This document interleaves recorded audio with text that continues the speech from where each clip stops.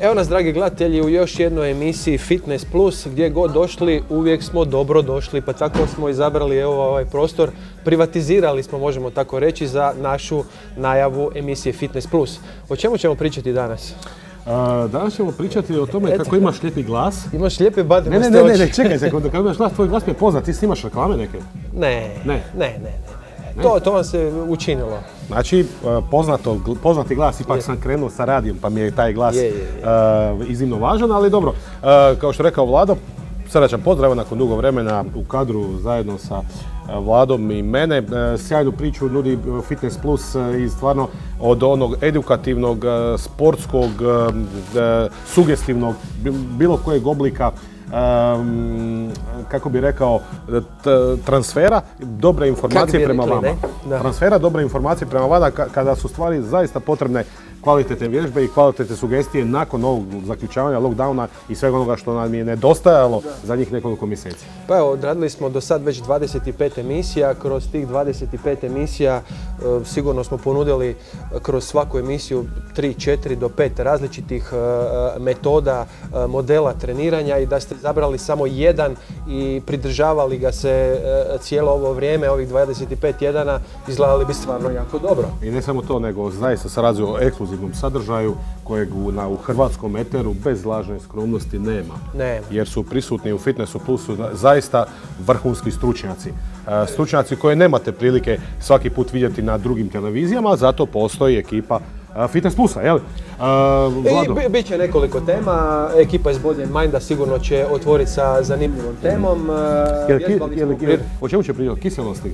Ne, ne, ne, to ćemo tek vidjeti. Dobro. O kiselosti, kako spriječiti kiselost tijela, govorit ćemo... Mene boli sve, zato te pitam, hoćemo li znati... Govorit ćemo kroz našu prehranu. Mhm. Isto tako Marija Andrijašević upotrebit će jednu metodu koja se zove HIT, High Intensity Training. Mijenjaju se metode i intervalnog dinamičkog rada sa, intervalima pauze. Hoće biti Tomo? Njegova warrior, warrior. Ne, neće biti warrior, nego Tomo je opet izabrao jedan trenažer u svoje tijelo, kettlebell sada. Tako zvana Lijana? Lijana, da.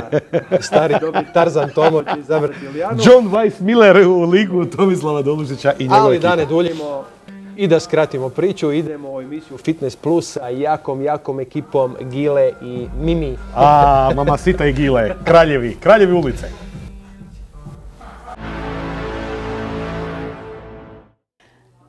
Lijepi pozdrav svima, dobrodošli u još jednu emisiju Fitness Plus. U današnjoj emisiji Fitness Plus pričat ćemo o jednom vrlo bitnom dijelu treninga, o dijelu treninga o kojem se baš previše ne priča, o dijelu treninga kojeg i vrhunski sportaši i rekreativci i rekovalescenti nakon neke ozljede vrlo često preskaču, a koji je čak možda i najbitniji dio treninga da bi se sami trening odradio kvalitetno i da bi dobili od treninga upravo one pozitivne učinke koje želimo. Da, riječ je o uvodnom dijelu treninga. Znači kako ćemo pripremiti tijelo prije glavnog dijela treninga je iznimno bitno i povećat će zapravo učinkovitost tog glavnog dijela treninga i svakako sigurnost e, nas samih koji ulazimo u taj trening. Znači postoje određene stvari koje moraju biti zadovoljene uvodno pripremnom dijelu treninga kako bi trening koji smo zamislili raditi unutar teretana, sportskih centara ili čak samostalno zapravo imao smisla i bio siguran. Prije nekih deseta godina kada smo Mirela i ja počeli kreirati uh, progresiv uh, sustav treninga, uh, počeli smo u naš sustav implementirati mnoge različite metode i koncepte treninga kako bi taj sustav bio maksimalno učinkovit i siguran za svakog našeg klijenta. Usporedo sa tim stvaranjem tog koncepta, te metode, jako smo se puno bavili i sa uvodnim dijelom treninga. E, a koje su to metode koje smo mi implementirali unutra kako bi svaki trening rekreativca ili sportaša bio maksimalno učinkovit, reći će vam Mirela. Da, e, mi smo naime koncipirali jedan e, podsustav unutar sustava kojeg smo nazvali, SMART. SMART inače počinje sa prvim slovima zapravo onoga čega mi želimo u pripremnom dijelu zapravo odraditi. Riječ je znači o stabilnosti, mobilnosti, aktivaciji, tehnici. Kad kažemo tehnici, tehnika je vezana kako za osnovne kretnje, tako i za zapravo onaj dio koji ćemo raditi u glavnom dijelu treninga i naravno zapravo reakciju, znači buđenje CNS-a, što je iznimno bitno da zapravo uđemo u trening na pravi način. Pa ja mislim da u svakom slučaju e, taj uvodni dio treninga, osim što moramo obuhvatiti nekakve globalne strukture i ispravljanje globalnih minusa koje smo utvrdili inicijalnom dijagnostikom, prije svega posturalnom, trebamo pripremati tijelo, odnosno raditi na tehnici onih motoričkih sposobnosti koje ćemo razvijati u glavnom dijelu treninga. Ali ono što je vrlo bitno za reći, na primjer u, rekreaciji, ja baš ne bih preporučio da se rade neki preveliki skokovi i nekakvi preveliki uh, sprintevi, preintenzivni, jer više, to smo pričali u jednoj od prethodnih emisija, više možemo napraviti štete nego koristi, ali u svakom slučaju ja mislim nikada ne možete pogriješiti da napravite mobilnost, stabilnost, fleksibilnost, kor i mehaniku daha. Ok, jako bitna stvar, e, zapravo sam nekako htjela na to ovaj, ići, a to je na primjer, ako ćete dizati utege i radit ćete čučnjeve, iskorake ili ćete raditi nekakvo povlačenje, odgurivanje i trebalo bi te kretnje napraviti u bodyweight e, režimu, znači sa vlastitom težinom. Ako ćete, na primjer, raditi nekakve intervalne treninge trčanja, svakako bi trebalo napraviti možda neke jednonožne stabilnosti i krenuti sa e, takvim vježbama nižeg intenziteta i progresivno dizati intenzitet. Ako ćemo raditi skokove, svakako bi osim nekakvih vježbi globalnog karaktera, čučnja, iskoraka, deadlifta sa bodyweightom trebalo napraviti nešto što imitira skok. Pa onda zapravo radimo skok bez nekakve poskoke i tako dalje. Znači svakako nešto što je u glavnom dijelu sata determinirat će taj specifični tehnički dio koji će se naći u smartu. I zadnja stvar jako bitna, CNS. CNS, odnosno centralni živčani sustav, ukoliko želite da vaš trening ima maksimalan efekt na vaše tijelo i na vaš um, morate aktivirati živčani sustav. to se može aktivirati kroz određene vježbice. Mi kod nas u Body Mind Sport Performance centru koristimo razne tehnologije. Jedna od njih je VTSM e, tehnologija gdje naši klijenti moraju reagirati na gašenje nekakvih e, e, malih uređaja koji se pale. Tako da CNS se može aktivirati i sa nekakvim e, drugim vježbama, ali u svakom slučaju naša preporuka vam je da to ubacite u vaš uvodni dio treninga kako bi vaš glavni dio treninga bio što učinkovitiji. Da, i zadnja stvar, nemojte zaboraviti balans, to je vezano i za CNS, tako da u tom zadnjem slovu R reakcija zapravo radimo s tim kako će mozak zapravo reagirati, ali isto tako dvojili smo da li je to i ravnoteža. Pa u svakom slučaju jedno povezuje drugo, svakako je balans kako statički, tako i dinamički morao bi biti zastupljen u uvodnom pripremnom dijelu. Kad se tako pripremite, trening će biti siguran i možete unapređivati svoje sposobnosti u beskraj.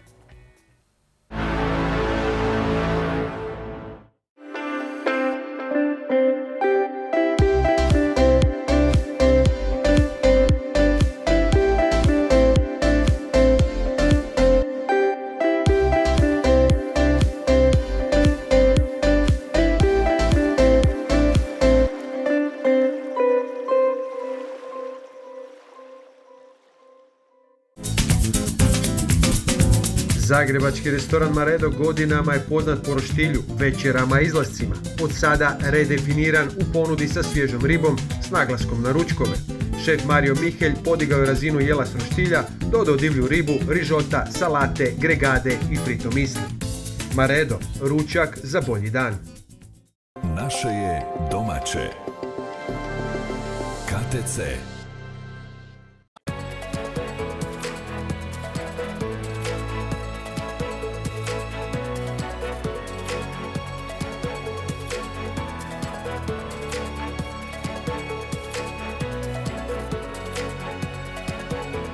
Dan Kihen, Megastor Zagreb.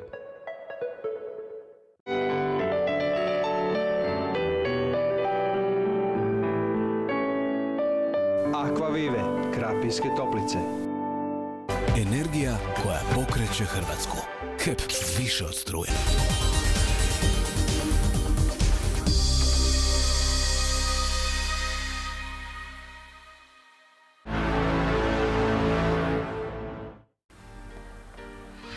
Rekli smo da je važno biti prisutan u trenutku. I to se nekako zove meditacija, je tako? To se zove mindfulness meditacija ili na hrvatskom usredotočena svjesnost. Odlično ime. Zato to nitko ne koristi, skoro nitko. Ali evo, mi ćemo se za sada baviti s tim da je to vrsta meditacije. Mhm. Dakle, postoji vrsta meditacije koju, kao što smo prije rekli, je nešto što možemo i mi ovdje na zapadu koristiti. Ali je trik u tome da te ta meditacija nećemo ući, a to je biti prisutan u trenutku. No, biti prisutan u trenutku ne moraš samo ili ne moraš samo postizati putem meditacije. Ti možeš biti prisutan u trenutku i na neke druge načine. Ok, a na koje načine možemo biti prisutni u trenutku, a na koje načine možemo baš ono meditirati? Ja želim meditirati i na taj način, ne znam, unaprijediti svoju emotivnu kontrolu. Kako to radim? Svaki put kad recimo plivaš, ti si puno plivao u životu. Jesam, i previše. Pa znaš ono što se zove brojanje pločica? Pa to može biti zapravo i vrsta meditacije. Mhm. Ti dok plivaš i dok obraćaš pažnju na svoj zavesla, je li on pravilan, ti si prisutan u trenutku. I sigurno da radiš onda dobro i za svoju tehniku, ali i za svoju glavu. Učiš se zapravo obrađivati mali broj informacija. Reci koliko puta u životu ti se zapravo događa to da obrađuješ mali broj informacija i da si prisutan u trenutku. Pa dogodi mi se nekoliko puta u danu, ali u pravilu da, znam što želiš reći, imam jako malo trenutaka kad sam skroz usredotočen. Možda bi najbolji primjer bio razgovor s klijentom, to, je on, to su trenuci gdje sam u potpunosti uključen u trenutak uz minimalne distrakcije. Upravo tako, mi smo jako rijetko zapravo prisutni u trenutku i samim tim e, prepuštamo se svojim mislima koji su usredotočeni ili na ono što se događa u budućnosti, odnosno naše neke pretpostavke o stvarima koje će se dogoditi u budućnosti ili razmišljamo o nekim stvarima koje su se već dogodile, koje su u prošlosti i onda ih vrtimo neprestano i samim tim se umaramo, ali ne samo da se umaramo, nego ne radimo ni ništa korisno. Ono što želimo je zapravo malo više odmoriti mozak i malo više uživati u onome što je tu i sad. Evo primjerice. Svako jutro popijemo šalicu kave. Barem ja. Netko pije čaj, netko uživa u nekim drugim stvarima. Ali ako se ja dopustim pet minuta da razmišljam o toj kavi na način da ju pomirišim, da razmišljam o tome kakav ona okus ima, ili da jednostavno gledam kakve lijepe šare ona na površini ostavlja. Ja sam sebi zapravo kupila pet minuta mira o kojem pričamo i ja sam meditirala na meni prihvatljiv i način kojeg mogu jednostavno uklopiti u svoju svakodnevicu. Mhm. Drugim riječima ne moram odvajati posebno vrijeme za meditaciju, nego je mogu uklopiti u neke stvari s kojima se već i bavim. To može biti igranje sa djecom, to može biti šetnje po šumi, to može biti i svakodnevno vježbanje. Ako si uranjen u trenutak, ti zapravo meditiraš. Ok, ali šta radimo s mislima? Njih onda, ove misli koje nisu vezane uz trenutak, njih blokiramo, njih izguramo ništa ne guramo, ništa ne blokiramo, ništa ne porećemo, jednostavno smo svjesni trenutka u kojem se nalazimo. A sve one misle koje nisu vezane za sadašnji trenutak, njih samo malo pustimo, neka čekaju svoj red. Ja si volim reći, evo, čekaj ti malo sa strane, doći ćeš i ti na red. Dakle, nema potiskivanja, samo uranjanje u sadašnji trenutak. Dakle, ako želimo biti prisutni u trenutku, to imamo priliku raditi svaki dan u bilo kom trenutku. I ako želimo meditirati, nije potrebno dodatno 2, 5 minuta, 10 minuta ili pola sata svaki dan, dovoljno je usmjeriti se na ono što radimo sada i ovdje.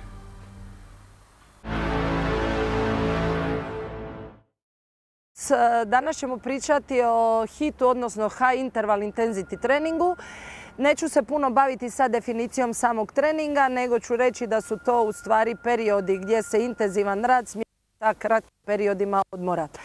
Kako bi se kvalitetno provodio e, hit, e, potrebno ga je provoditi pod stručnim vodstvom. Naravno, pri tome treba paziti na kvalitetu pokreta i na tehnički pravilno izvedene vježbe. Danas ću vam demonstrirati nekoliko vježbi, odnosno kako se popularno nazivaju hibridima gdje je e, sklopljeno više vježbi, odnosno više pokreta u jednu cjelinu. Između ostalog demonstrirat ću i varijacije na temu e, jumping jacksova i nekoliko kompleksa vježbi koje se mogu e, raditi na podu. Kakvi će biti intervaliti? Da li će se raditi u periodu 20 sekundi rada, 10 sekundi odmora ili 30 sekundi rada, 15 sekundi odmora, naravno ovisi o klijentu, odnosno ovisi o sportašu i nivou njihove forme kada ih trenirate, kao i koji je cilj e, tog e, treninga. Tako da ćemo lagano krenuti sa klasičnim jumping jacksovima. Pazimo na pravilnu izvedbu vježbi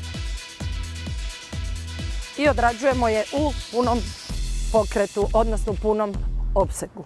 Možemo raditi na dva.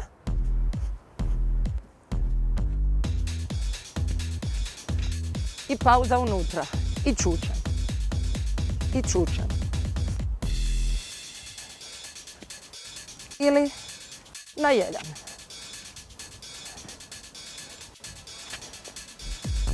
Možemo sa dva skoka naprijed. Dva skoka naprijed. Još jednom.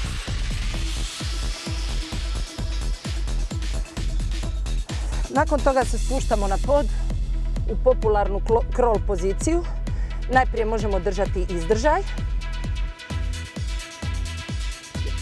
Zatim naizmjenično opružanje nogu. Naravno sve to radimo u zadanom vremenu. Zatim opružanje jedne noge. Pa rotacije. Kuko. Koju pretvorimo u popularni breakdancer. Zatim zadržimo, dotaknemo stopala.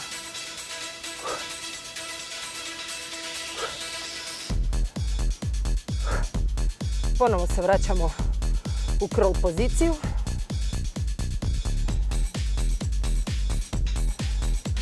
Jako je bitno pripaziti na stabilnost samog kora, odnosno da ne dođe do rotacije u zdjelici, odnosno u pelvisu i ona mora biti u neutralnoj poziciji. Zatim postoje različite varijacije. Ili opružamo suprotnu ruku, suprotnu nogu. Ili se krećemo kroz prostor. Naravno, kako ćete osmisliti hibride i kako ćete sastaviti intervale, to ovisi o vama. Nadam se da ste i ovaj put našli kvalitetan sadržaj za vas, da ćete ga primijeniti u svakodnevnom radu, a za sljedeći put smo vam pripremili još pregršt iznenađenja i inspiracije za vas. Vidimo se do sljedećeg puta, lijepi pozdrav!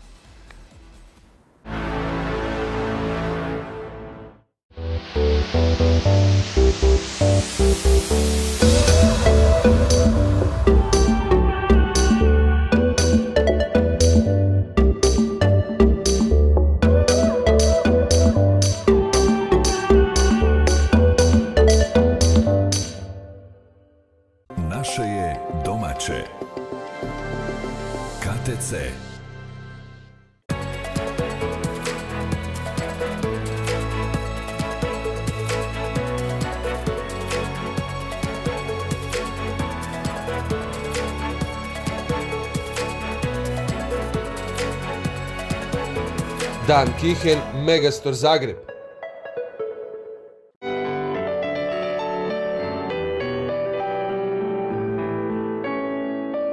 Akvavive, krapinske toplice. Energija koja pokreće Hrvatsku. HEP više od struje.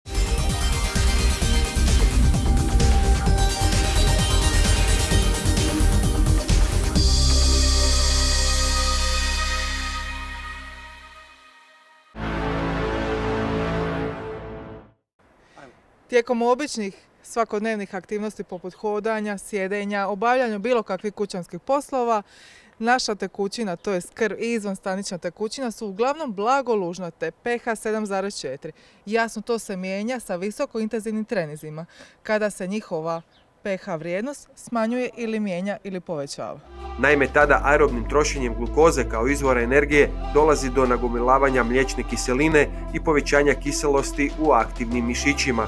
Uzrokuje to bol koja može biti izrazita i nada sve neugodna. Sportašima je cilj neutralizirati kiselost u mišićima, odgoditi umor i tako pozitivno utjecati na kvalitetu treninga i ishod naticanja. Od pomoći su u tim slučajevima neutralizatori kiselosti, bikarbonati, citrati i sl. Mogu se uzimati kao dodaci prehrani. Važno je znati da se natri bikarbonat ili natri citrat uzimaju prema tjelesnoj masi. Preporučena doza je 300 mg na svaki kilogram tjelesne mase sportaša. Ako ste sportaš mase 70 kg, za vas bi doza bila 21 g bikarbonata. Bikarbonati i citrati uzimaju se 2 do 1 sat prije natjecanja i to s velikom količinom vode, najmanje pola litre. Neki preporučuju čak 2 litre vode. Važno je naglasiti kako s njihovim uzimanjem valja biti vrlo oprezan jer može doći do probavnih tegoba, na primjer proljeva. Preporuka je isprobati učinak bikarbonata prvo u danima bez treninga, onda tijekom treninga kako na natjecanjima ne bi bilo neugodnosti. Za privikavanje organizma na bikarbonate preporučljivo u početku ići s 50% doze. Što se pak prehrane tiče, visoko prerađena hrana povećava kiselost organizma i tako smanjuje kapacitet mišića za neutraliziranjem kiselosti. Nasuprot tome, od koristi je voće i povrće, namirnice alkalne prirode. Što više to potvrđuju i znanstvena istraživanja, tako je pokazalo kako su od koristi aca bobice. Što se prehrane tiče, visoko prerađena hrana povećava kiselost organizma i time smanjuje mogućnost mišića za njihovu neutralizaciju. Nasuprot tome su voće i povrće alkalne prirode. Osim toga, nadamo se da smo i u ovoj emisiji još jednom vam pokazali i dokazali kako pravilna iskrana prije natjecanja i tijekom samog treninga je od velike koristi sportašima. Sretno! Nema više klasičnih kardio programa poput beskrajnog trčanja na traci. Trenizi su sve češće kratki, raznoliki, zabavni i vrlo intenzivni. Naravno, kao što želimo naglasiti, svatko sam sebi dozira intenzitet.